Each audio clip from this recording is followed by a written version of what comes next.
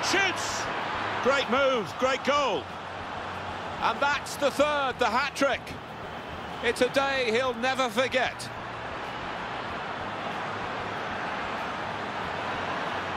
Well, there is a saying that